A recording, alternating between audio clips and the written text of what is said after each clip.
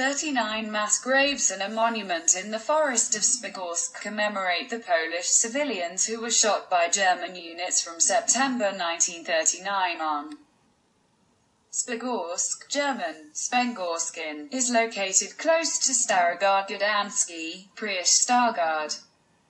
Between 1920 and 1939, it was part of the so-called Polish Corridor, which separated East Prussia from the rest of the German Reich. In September 1939, at the beginning of the Second World War, the systematic persecution of the Polish upper classes began. SS units and members of the German Selbstschutz carried out shootings of thousands of civilians in the occupied territories as part of the intelligence action targeted at the Polish intelligentsia. Its aim was to eliminate the Polish state and to Germanize the region. Until May 1940, a total of 30,000 to 40,000 people fell victim to these mass murders. 7,000 Poles were killed in the forests of Szpęgawsk, mostly by local Germans.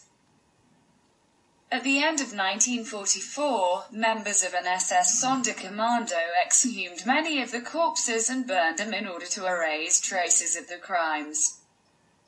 After Piasnica, Piasnitz, Gdansk, Danzig, Szpęgawsk claimed the highest number of victims in this first wave of executions in this part of Poland. 13,000 people were murdered.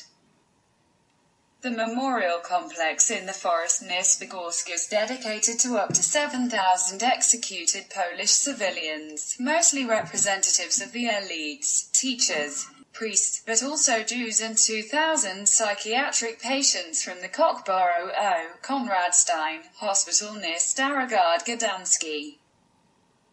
After the end of the war, a Polish commission was entrusted with investigating the murder site in the forest between 1945 and 1947.